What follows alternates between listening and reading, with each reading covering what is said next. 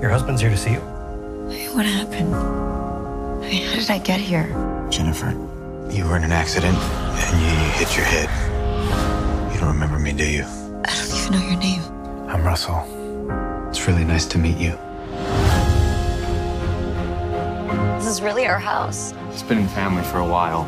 It's so quiet. Better be. Nearest neighbor's over a mile away. Only a mile. This is Detective Page. I was wondering if your wife would come down to the station tomorrow at 11 to talk about the accident. What's tomorrow at 11? I overheard you outside on the phone. It was work calling and wondering when I was coming back.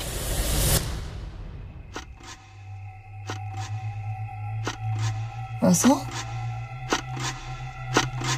There's someone in the backyard!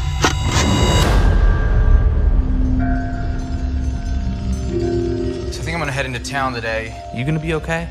I'll be fine. I feel like I just need to take a look around. Maybe something will trigger my memory. Don't overdo it. Since Jennifer had no ID, how did Russell prove he was her husband? It says here that he showed some family photos. Jennifer and Russell? That's the happy couple right there. You're under my skin. If that's Russell, who's that? What did you do to my husband? This was no accident. All I have ever wanted is for you to love me.